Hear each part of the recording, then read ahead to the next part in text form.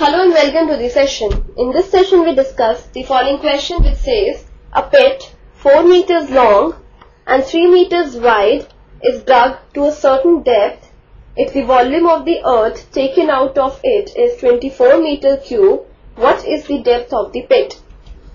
Before moving on to the solution let's recall the formula for the volume of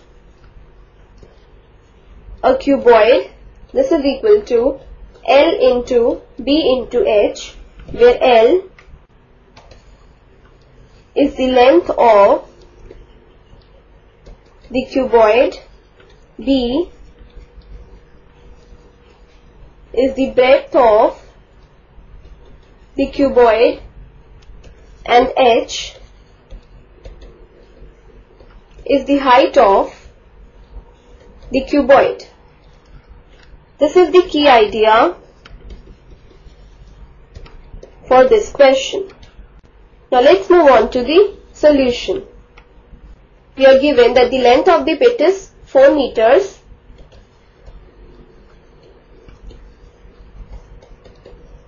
That is L is equal to 4 meters. Then the breadth of the pit is 3 meters.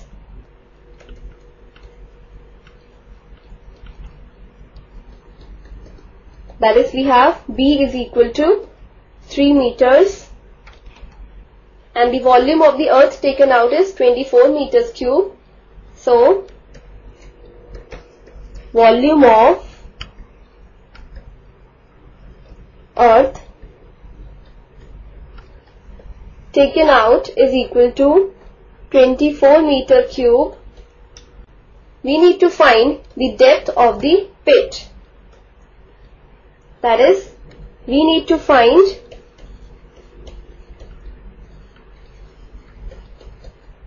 H. Now, using the formula for the volume of cuboid, we get that the volume of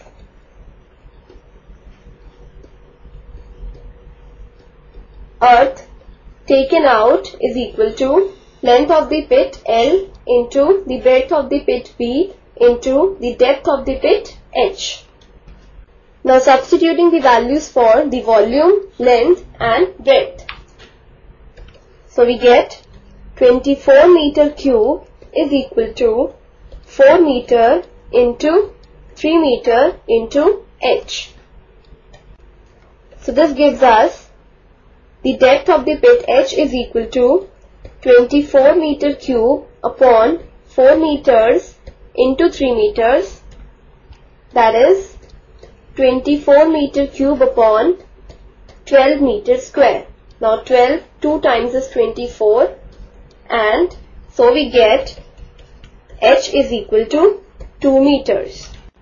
That is the depth of the pit h is equal to 2 meters. Hence the final answer is 2 meters. So this completes the session. Hope you have understood the solution for this question.